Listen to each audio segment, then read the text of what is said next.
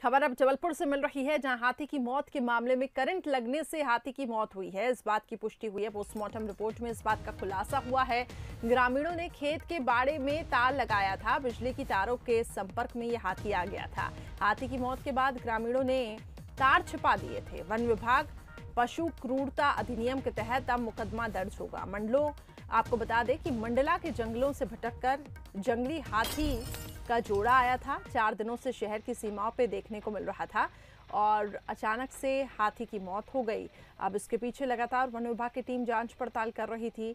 Postmortem report में ये पाया गया कि हाथी की मौत करंट लगने की वजह से हुई है, लेकिन आखिर ये करंट कैसे लगा? इसकी जब जाँच की गई तो ये पता चला कि आसपास करंट की तार बाँध गई थी और वन विभाग के द्वारा इन तारों को छिपाया गया था। वन माफ़ कीजिएगा, ग्रामीणों के द्वारा और उसको लेकर वन विभाग ने अब कार्रवाई की है। अमित सोनी, हमारे संवाददाता, अधिक जानकारी के लिए जुड़ चुके हैं। अमित जिस तरीके से हम देख रहे हैं इस पूरे मामले में ग्रामीण शक के दायरे में हैं, क्योंकि ये बताया जा रहा है कि जो तार हैं करंट की, वो इन ग्रामीणों ने छिपाई थी। फ़िलहाल क्या कुछ कार्रवाई पुलिस की तरफ़ से की जा रही है?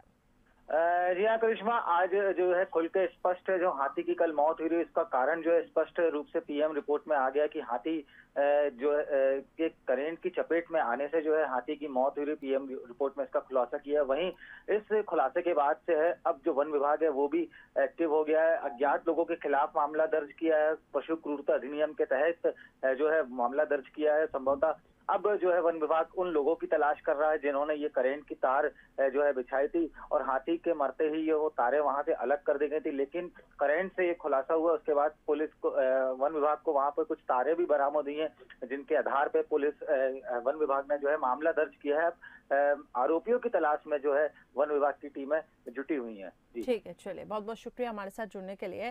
तो कल हाथी की मौत हुई थी, उसके पीछे अब खुलासा ये हुआ है, पोस्टमार्टम रिपोर्ट में खुलासा हुआ है कि करंट लगने की वजह से हाथी की मौत हुई थी और ग्रामीणों ने खेत के बारे में करंट की तार लगाई हुई थी, बिजली की तारें लगाई हुई थी, जिसके चलते इस हाथी को करंट लगा। हालाँकि अभी फ़िलहाल कार्रवाई के तौर पर वन विभाग की टीम आरोपियों की तलाश में जुटी हुई है और हाथी को रेस्क्यू किया गया है।